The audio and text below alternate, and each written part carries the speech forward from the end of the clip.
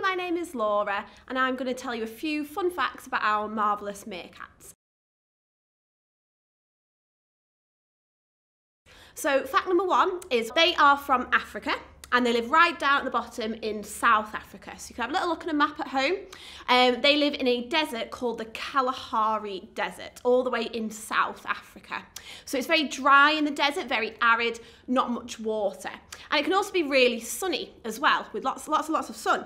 So meerkats have actually got black patches around their eyes and have a think about why this could be. Now, I'm going to put something on that will tell you the answer.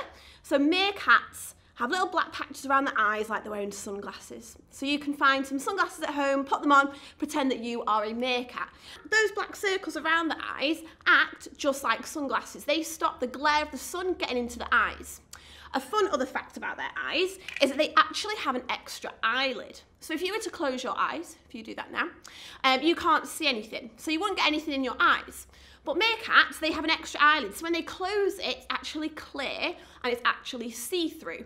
And that means they still don't get anything in their eyes, but it means they can still see when they're looking for their food in the ground, but then they don't get sand in their eyes.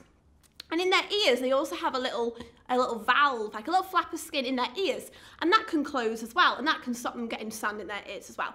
So they are really well adapted for living in the desert. So that means they're really well suited for their habitat. You can have a little look online and see if you can find any other adaptations that meerkats have, because they have got loads. The next thing about them is about what they eat.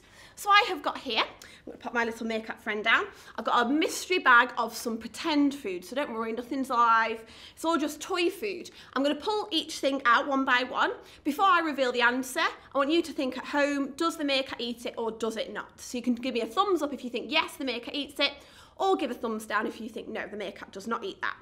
So the first one is a little bird, a little chick. What do you think? So actually meerkats will, if they can, catch little birds, they will eat them. So yes to that one. Let's have a look what's next. Ooh, an insect. So this is something like a locust or a grasshopper. What do you think at home? The answer is yes, they do. They eat these insects. They will eat spiders as well. They will even eat scorpions. They're so clever that they will bite the sting off the scorpion before they eat it. But even if they do eat that scorpion sting, it doesn't actually hurt them like it would do to us. So yes to that one. Next one, an egg. What do you think for this one? So yes, meerkats do eat eggs. Here at Knowsley Safari, we give our meerkats chicken eggs like you might eat at home, but in the wild they would find other eggs from birds or snakes or lizards, and yes, they would eat eggs. Okay, so sounds like they eat pretty much anything so far. The next one is a carrot. What do you think about this? So they don't eat carrots out in the wild. If you think about that habitat I told you about, the Kalahari Desert, not much water, not much rain, carrots would not grow. Here at Knowsley Safari, again, we feed them little bits of fruit and vegetables, but in the wild, they wouldn't be able to get them. But they would eat plants, so no to the carrot. Okay, last couple left. A millipede. What do you think for a millipede? Yes, they do. So again, things like that, like the insects, the spiders, the scorpions, that's pretty similar, so they do eat them. And last but not least is a mouse. What do you think to that one? So they do, they do eat mice. And um, we actually give them one mouse each for their breakfast here at Knowsley Safari. That's their first meal of the day. And for us, the meerkats actually eat four times a day, which is pretty nice. So basically, meerkats eat pretty much anything and everything because there is not much food in the desert. And if they limited themselves to only eating a few things, they could go hungry quite easily. So by eating lots of different stuff, they can hopefully stay um, well fed. Okay, brilliant. Now, the last fact about meerkats, I want everyone to join in with me at home. I want you to all do your best impression. So you put your little paws up and then you go hi. So if you're on, if you're stood up, you can go on your little tippy toes, pretend to be a meerkat, look around, and have a think about why they do that. Now, the reason is, um, is due to their predators, to due to danger. Animals are going to try and eat them, they will always have one meerkat that is a lookout, um, and it will look out for predators and danger. And when it sees something, it makes an alarm call. Okay? And they can make quite a few different alarm calls for what they see. You might have seen our meerkats doing that at Knowsley, um, and that's because um, they are still looking out for predators, even though there's not as many around, they will still do that. And you might see them go up their branches as well to get higher, to get a high viewpoint to see further around them. But if not, they do have a long tail. Now, a meerkat is about 30 centimetres in length. So grab a ruler, that's how long a meerkat is.